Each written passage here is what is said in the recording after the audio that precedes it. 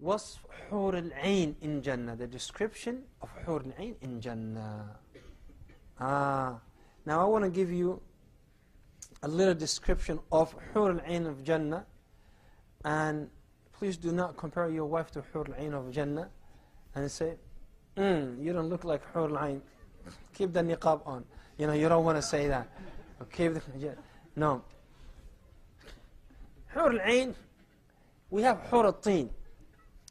طين is the mud we have حور of mud we don't have حور العين حور العين is something unique and you can only find حور العين حور العين in Jannah and look what Allah subhanahu wa ta'ala said about the man who will go to Jannah يقول وزوجناهم بحور عين and we married them and we give them wives from حور العين See, men, their focus is women. No. Am I right?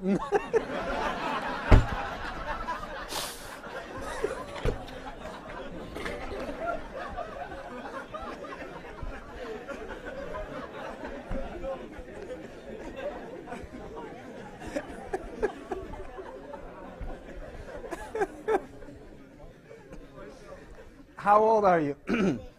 He's six. Call me when you're 16. Call me when, I'll ask you the same question when you're 16. said no.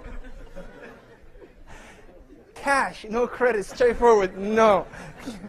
Our focus is not women.